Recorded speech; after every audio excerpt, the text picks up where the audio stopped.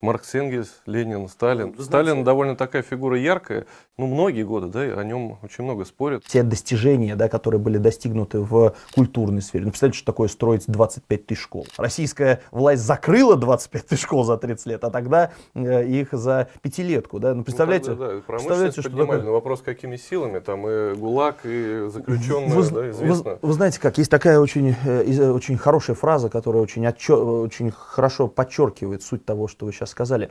Э, оценивать Совет Советский Союз по репрессиям, это все равно, что э, судить христианство по инквизиции.